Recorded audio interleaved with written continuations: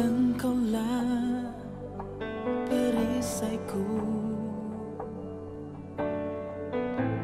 Saat badai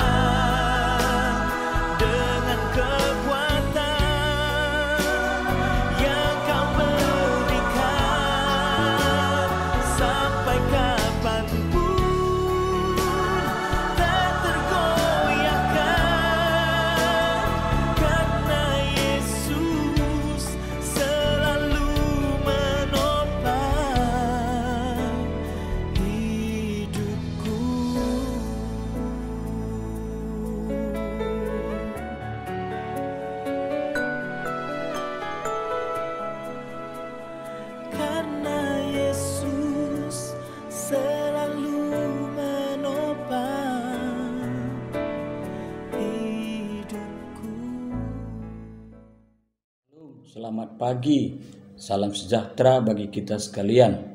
Saudara yang kekasih dalam nama Tuhan Yesus, kita bersyukur kepada Tuhan karena kita sudah bangun pagi ini. Sebelum kita melaksanakan aktivitas kita, kita akan merenungkan firman Tuhan. Mari kita berdoa. Bapa dalam surga, terima kasih pagi ini kami sudah bangun kembali. Kami percaya Tuhan yang menjaga kami tadi malam dan juga menjaga kami hari ini. Sebelum kami beraktivitas, kami akan merenungkan firman-Mu. Berkati hambamu, juga berkati kami yang mendengarkan firman-Mu. Dalam nama Tuhan Yesus kami berdoa. Amin. Saudaraku yang kekasih, firman Tuhan yang akan kita renungkan pada hari ini terambil dari 1 Timotius pasal 2 ayat 5 dan ayat 6 firman Tuhan berkata demikian. Karena Allah itu Esa dan Esa pula dia yang menjadi pengantara antara Allah dan manusia yaitu manusia Kristus Yesus yang telah menyerahkan dirinya sebagai tebusan bagi semua manusia itu kesaksian pada waktu yang ditentukan. Saudaraku yang kekasih dalam nama Tuhan Yesus, kita tidak lama lagi akan memasuki Kamis Putih, Jumat Agung, Sabtu Pengharapan, dan Minggu Paskah. Kegiatan itu merupakan suatu kegiatan yang sakral di dalam kehidupan kita sebagai orang percaya. Saudaraku yang kekasih, peristiwa itu adalah ada hubungannya dengan peristiwa penderitaan Yesus Kristus dan juga peristiwa kebangkitannya daripada orang mati. Tentunya saudaraku yang kekasih, sebelum kita memasuki peristiwa-peristiwa yang sudah ditetapkan oleh gereja kita, pagi ini kita diingatkan kembali di mana Rasul Paulus menegaskan kepada Timotius bahwa Allah itu adalah Allah yang esa. Dan Allah itu hadir di tengah-tengah kehidupan kita sebagai manusia, yaitu pada diri Yesus Kristus. Tentunya, saudara, di dalam kehadiran Yesus Kristus itu menunjukkan kepada manusia bahwa Allah itu adalah segambar dengan manusia, benar adanya. Karena apa, saudara? Karena Yesus itu adalah wujud daripada manusia yang hadir sebagai Allah. Dia lapar, dia haus, dia istirahat, dan dia juga berkata-kata, sama seperti kita manusia. Namun, ada hal yang luar biasa yang dimiliki oleh Yesus Kristus sebagai Allah yang kudus itu, di mana Dia menyatakan semua kebaikan-kebaikan Allah bagi kita manusia. Dia mengajarkan yang baik, dia mengajarkan kepada manusia untuk selalu berbuat baik, baik lewat perkataan, perbuatan, dan juga tindakan. Dan juga Yesus Kristus mengajarkan manusia itu untuk selalu merendahkan hati di tengah-tengah kehidupan sebagai manusia yang sudah percaya kepada Dia. Maka dari itu, saudara, karena Allah itu Esa, dan Esa pula Dia yang menjadi pengantara antara Allah dan manusia. Yesus adalah pengantara antara kita dan Allah. Itu maka di dalam kayu salib dia mengatakan ampunilah salah mereka karena mereka tidak tahu apa yang mereka perbuat. Dan juga Yesus mengatakan telah selesai. Artinya saudara, terputusnya hubungan manusia dengan Allah oleh karena Adam dan Hawa jatuh ke dalam dosa sudah dibuka kembali oleh Yesus Kristus. Supaya manusia yang diciptakan segambar dengan Allah itu kembali mempunyai hubungan yang erat dengan Allah Sang Pencipta. Maka dari itu, Yesus Kristus yang hadir sebagai Allah, yang hadir sebagai yang kudus, yang hadir sebagai pengasih, yang hadir sebagai penyayang, dan juga sebagai penebus dosa yang telah menyerahkan dirinya di kayu salib.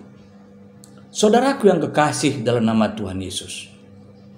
Maka dari itulah Rasul Paulus menyaksikan kepada Timotius supaya Timotius menyadari di dalam keterpanggilannya sebagai pelayan agar dia sadar sesadar-sadarnya bahwa lewat Kristus segala dosa-dosa kita, dosa-dosa manusia telah dihapuskan. Sungguh luar biasa saudara.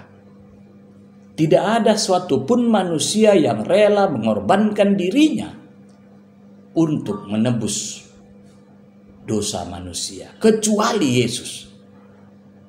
Kecuali Yesus yaitu yang kudus yang tampil berbeda dengan manusia. Kehidupan sorga ditunjukkan oleh Yesus. Suasana sorgawi dilaksanakan oleh Yesus dalam pelayanannya.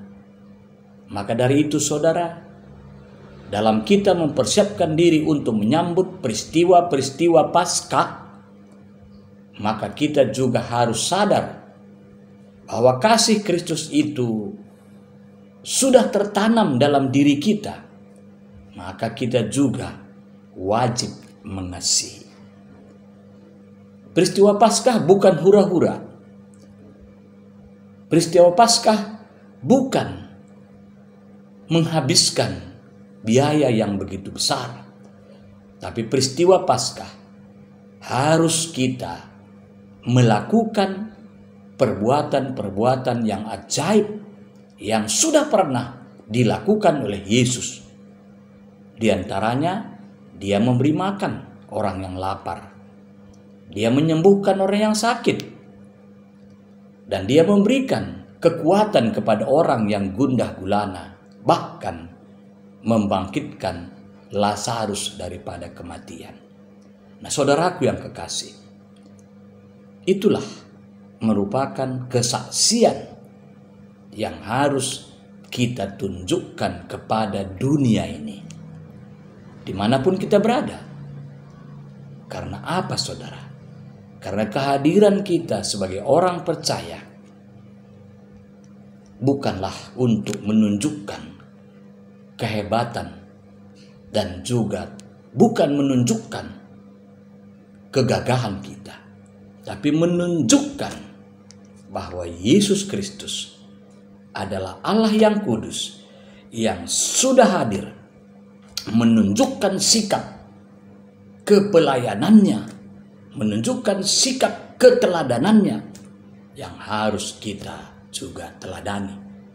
Tidaklah gampang menjadi orang pengikut Kristus.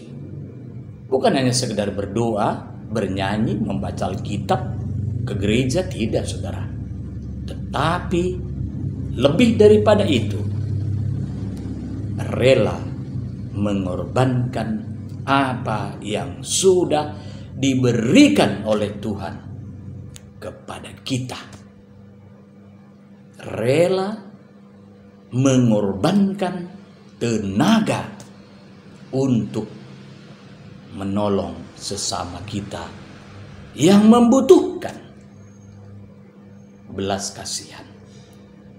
Kristus mati di kayu salib tidak pernah mengeluh dan memberontak Bahkan dia mengajar orang yang melihat dia dihina, disiksa, bahkan disalibkan untuk selalu melakukan yang terbaik. Karena apa, saudara? Karena dia adalah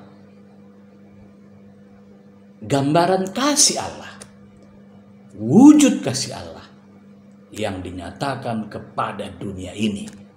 Seperti yang dikatakan oleh Yohanes, begitu besar kasih Allah akan dunia ini. Sehingga dia mengaruniakan anaknya yang tunggal. Siapa yang percaya akan selamat.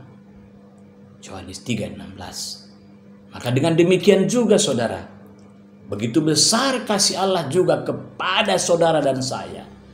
Maka dia mengaruniakan keteladanan Kristus, belas kasihan Kristus, supaya orang lain juga merasakan apa yang kita rasakan. Berbuatlah seperti apa yang sudah ditunjukkan oleh Yesus.